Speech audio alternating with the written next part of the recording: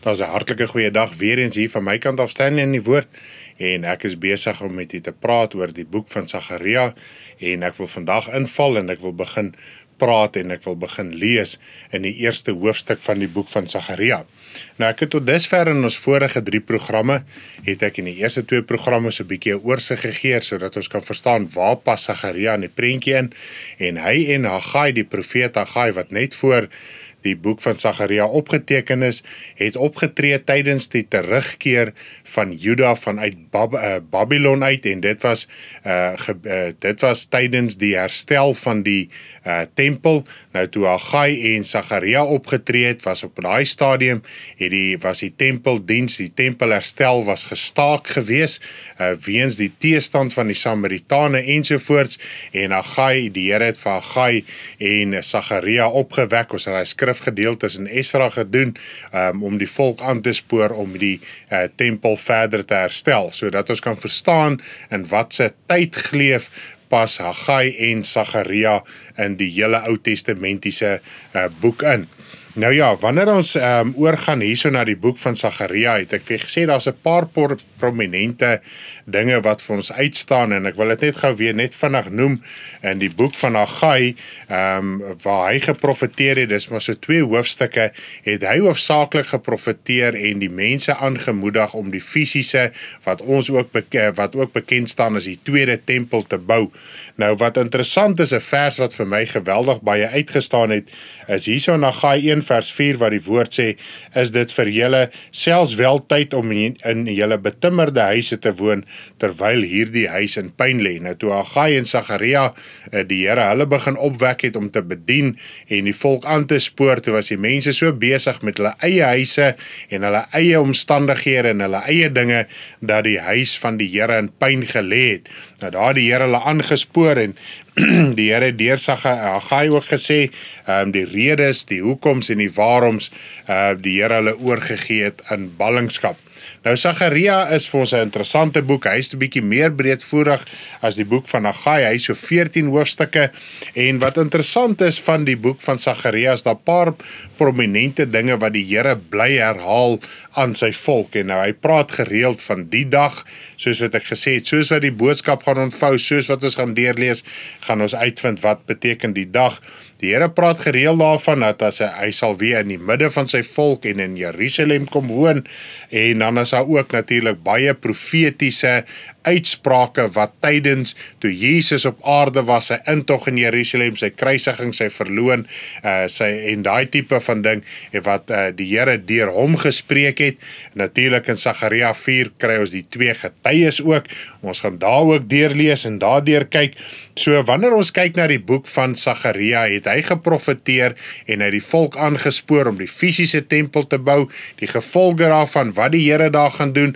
Hy het verder as net dit gespreek gespreek, hy het gespreek tot op die Here Jesus Christus toe hy nou die eerste keer hier op aarde was of soos wat dit in baie kringe bekend staan, die eerste koms van die Here Jesus, want ons verwag sy tweede koms wat 'n einde aan hierdie wêreld gemaak soos wat ons dit ken en dit is waarom dit die wederkoms genoem word of die tweede koms nou ons verwag in ons tyd die tweede koms of die wederkoms van die Here Jesus Christus. Nou ja, wanneer ons ehm um, oorgaan hier na die boek van Sagaria wil ek vir ons lees en ehm um, ek gaan net so hier en daar, ek gaan so deurlees en dan gaan ek versies bietjie uithaal en dinge uitlig wat nogal belangrik en vir ons is in hierdie tyd want baie keer fokus ons so uh um oor die uh profetiese vervulling en wat het nou in vervulling gekom, wat het nie en ook natuurlik die eskatologiese uit uh uh, uh um aspek van die boek van Sagaria. Nou die eskatologiese of die eskatologie is die eindtyd aspek van Sagaria. Nou baie beweer hy's uh, van al die klein profete is hy die profeet wat die meeste gespreek het oor eindtyd gebeure. Nou ons gaan na al hierdie dinge kyk soos wat ons hier deurlees en soos wat ek gesê het, ons moet hierdie boek stap vir stap vat en anders dan kan ons maklik net verse uithaal en ons kan op loop gaan in plaas om te sien in die konteks wat dit gebeur want ons moenie uit die oog uit verloor daaroor dat Sagaria het wel geprofeteer ook oor die tweede tempel. Nou so 26 jaar voor Christus het Herodes al reeds die uh hierdie tweede tempel toe uh, Rome die um die wêreld regeer het. Op daai stadium het Rome al die wêreld begin regeer. Het uh, Herodes om 'n guns aan die Jode te wys om guns by hulle te kry. Nou hy het geweet hoe mense uh, uit te reik na mense se hart toe om hulle guns te kry. Het hy die tweede tempel gevat en hy het hom verder uitgebrei en hy het hom groter gemaak en daai klas van ding so wanneer ons kyk na uh, die hierdie tweede tempel wat gebou is Herodes het uitgebrei daarop. Nou die grootste deel van die tempel van Herodes was die buitekant wat wel vir die, die heidene die heidene kon nie buite beweeg het en hulle kon ook naby die, Joodse tempel gekom het. Natuurlik was die binnendeel gereserveer vir slegs die Jode gewees. En soos wat dit aangaan gaan ons bietjie verder kyk na hierdie gedagtes ook. Nou kom ons lees hierso in Sagaria 1 en ek gaan lees vanaf vers 1 Hy sê in die 8ste maand in die tweede jaar na Darius het die woord van die Here gekom tot Sagaria, die seun van Beregia, die seun van Ido, die profeet en gesê: Nou hierso sien ons dat die eerste woord wat na hom toe gekom het was in die 8ste jaar van die tweede in die tweede jaar van Darius. Nou dit is koning Darius. Hy was op baie stadium koning van Perse gewees. Nou ehm um, met die meerder in die Perse het die Babiloniese koninkryk hom vergewerp en uiteindelik natuurlik het die Persiese koninkryk die sterkste van hierdie twee koninkryke geword soos wat dit geopenbaar is in die uh, beeld wat uh, Daniël moes uitgelê het in Daniël 2 vir Nebukadneser. Nou as ons kyk na Haggai, sy eerste woord was gewees in die 6ste maand gewees. So as ons kyk na Haggai se profetiese woord, het sy eerste woord wat hy gekry het was so 2 maande voor die van Sagaria en dan sê hy vir ons ook hierso in Haggai 2 dan praat hy van in die 21 se dag van die sewende maand uh het die woord van die Here uh tot Haggai gekom. So as ons kyk na die profetiese bediening van Haggai, het hy net so 2 maande voor die tyd het hy al reeds begin profeteer en toe het die Here deur Sagaria begin praat. En ek wil net hê ons moet oplet in vers 7 praat hy van die 24ste dag van die 11de maand. Dit is die maand Sebat in die tweede jaar van Darius. So vers 1 tot vers 6 het hy geprofeteer 3 maande uh voordat ehm um, hy vanaf vers 7 geprofeteer het. So ek wil net hê ons moet oplet want baie keer lees ons hierdie dinge as 'n een lopende profetiese woord, maar vers 1 tot 6 het hy gekry 3 maande voordat hy in vers 7 begin profeteer het. Maar kom ons lees aan in Sagaria 1 en ek gaan lees vanaf vers 2. Die Here was baie vertorend op julle vaders. So moet jy dan aan hulle sê. So spreek die Here van die leerskare, keer terug na my, spreek die Here van die leerskare, en ek sal na julle terugkeer, sê die Here van die leerskare. Nou hierso kom al reeds 'n mooi beginsel wat die woord van die Here vir ons al reeds in die Nuwe Testament ook sê wat hy sê, nader tot my en uh, nader tot die Here en hy sal tot jou nader. Nou hierso sê hy, hierso doen hy 'n oproep aan die volk om terug te keer na die Here toe. Nou vers 4 gaan hy aan met hierdie rede. Sê moenie soos julle vaders wees nie tot wie die vroeë profete geroep en gesê het. So sê die Here van die leerskare: Bekeer julle tog van julle bose weë en julle bose werke, maar hulle het nie gehoor en na my stem nie geluister het nie, spreek die Here van die leerskare. Julle vaders, waar is hulle en sal die profete vir ewig lewe?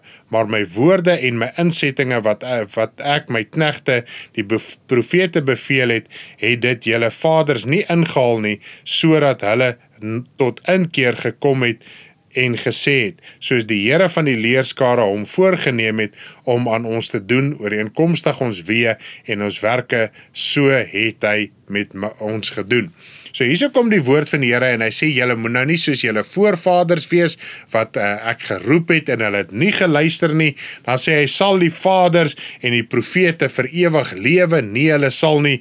Dan sê hy my woorde sal vir ewig lewe. So die woorde wat die Here deur die ou profete voor hierdie tyd, voor die tyd van ballingskap gespreek het, het so in vervulling gekom alhoewel die profete en ook die voorvaders al reeds uh die meerderheid van hulle al uitgesterf het op hierdie stadium is die woord van die Here gaan nog aan waar die Here die volk mee gewaarsku het. So nou kan ons begin verstaan wat die woord ook sê. Die Here Jesus sê ek sal julle nie oordeel nie, maar my woorde sal julle oordeel. So die woord wat die Here spreek, dit is vir ons belangrik in hierdie tyd waarin ons lewe en ook om ons lewe volgens die woord van die Here te skik want die mens het al te sterwe gekom maar die woord van die Here bly tot in alle ewigheid. So hierso het dit al reeds aan sy volk bekend gemaak en ons moet net verstaan op hierdie stadium, ek meen dit was nou al ehm um, 70 so so 'n paar maande verby 70 jaar wat Juda al wel in ballingskap uitgetrek het. So die meerderheid van die mense wat nou in Jerusalem is, het nie eens gelewe of was klein kindertjies gewees met die uh, tyd van die ballingskap.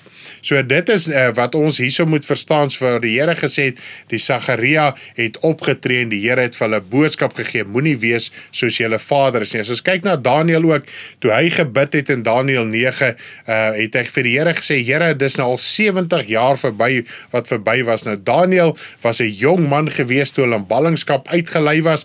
Nou 'n jong man kan beteken 'n tiener of iemand so in sy vroeë 20's.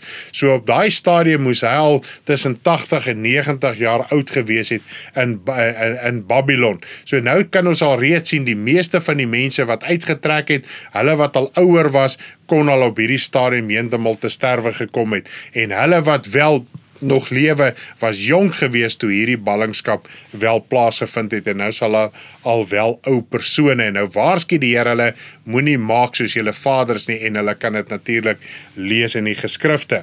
Nou kom ons lees aan hierso so vanaf vers 7 nou vanaf vers 7 gaan oor 'n gesig uh uh van uh die eerste gesig wat Sagaria gehad het. Nou hy het so 'n paar gesigte gehad regdeur tot by die 8ste gesig en um, ons gaan hierso deurlees en ons gaan kyk wat die woord van die Here vir ons ook in hierdie opsig sê.